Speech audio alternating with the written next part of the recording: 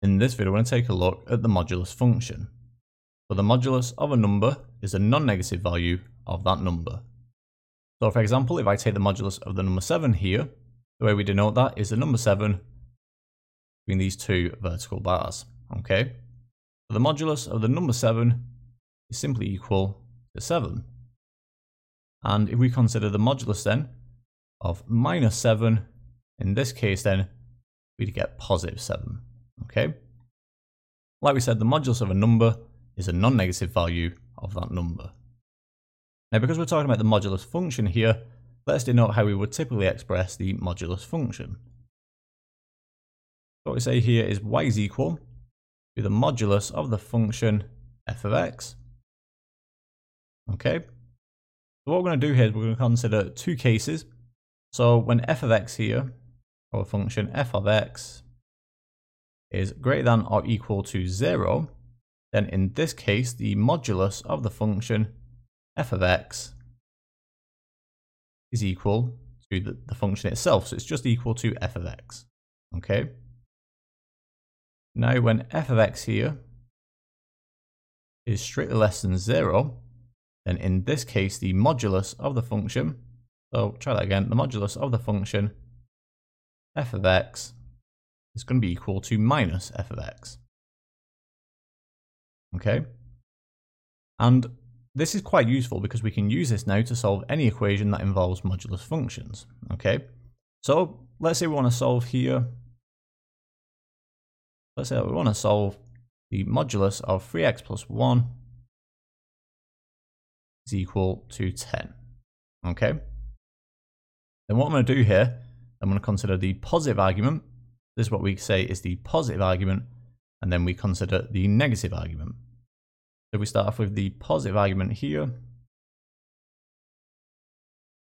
So for the positive argument, well, in that case, then we're saying f of x here, our function f of x, is greater than or equal to 0. But in that case, then when we take the modulus of that function, f of x, we simply get the function itself. So f of x here is 3x plus 1, so we start off with a positive argument, saying that f of x is greater than or equal to 0, what I'm going to simply get here is 3x plus 1 is equal to 10. Okay? And what I'm going to do now is solve for x, so subtract 1 off both sides. We get 3x is equal to 9. And then divide both sides here by 3. And we get that x is equal to 3. Okay? And that should hopefully seem quite straightforward. Now what we're going to consider here is the negative argument. So in this case then we're saying that the function f of x here is strictly less than 0. When I now take the modulus here of my function f of x, we'll just ignore this little dot here. In fact, let me just quickly erase that. When I now take the modulus here of my function f of x, this would be equal to minus f of x. Remember f of x here is 3x plus 1, we get minus 3x plus 1, and that's equal to 10. Okay, to expand this bracket here, I'm going to get minus 3x minus 1 is equal to 10. And again, all I need to do here now is solve for x. So add 1 to both sides, so I'm going to get minus 3x is equal to 11. And then finally, divide both sides here by minus 3 we get that x is equal to minus 11 divided by 3. Okay? And there we have it. So that would give us our two solutions there to this modulus equation. Okay? So that's everything we need there for our introduction to the modulus function. So that doesn't cover everything that we actually need for the modulus function. In a couple of videos, we're going to take a look at actually sketching modulus functions. But for now, that's all we need here in this video. So what we're going to do now is just take a look at one practice question here. So if we just take a look now at this practice question here, we're asked to solve the modulus of 4x minus 1 is equal to 4 minus x. So to solve this equation here, we need to consider the positive argument and the negative argument. So in the case of the positive argument here, and this is when my function here, f of x, is greater than or equal to 0. So for the positive argument, remember, we just simply get the function itself.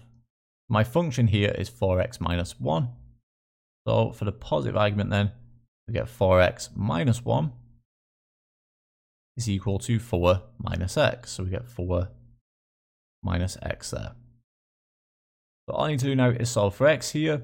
I'm going to add 1 to both sides. I'm going to get 4x is equal to 5 minus x there. And I'm going to add x to both sides here. I get 5x is equal to 5. And then if we divide both sides here by 5, we get that x is equal to 1. That's the first solution there. That's for the positive um, argument there. So now for the negative argument here. So for the negative argument here, well that's when my function f of x is strictly less than 0. And in that case then, I get the negative here of my function f of x. So I get minus 4x minus 1. And that's equal to 4 minus x there. If I expand the left-hand side here, I get minus 4x. Minus minus 1, that would give me positive 1. And that's equal to 4 minus x. And again, all I need to do here now is solve for x. So I'm going to start off by adding 4x to both sides. So I'm going to get 1 is equal to 4. And then minus x plus 4x, that would give me positive 3x. And what I'm going to do here now is subtract 4 off both sides. I get that 3x here is equal to 1 minus 4, which would give me minus 3. So therefore, x would be equal to minus 3 here divided by 3. I will get that x equal to minus 1 there. Okay, and there we have it. So that's the solution there. So we've got x equal to 1 and x equal to minus 1. That gives the solution to that practice question there. And that's it brings the end of this video on the modulus function. In the next video, we're going to take a look at functions and mappings.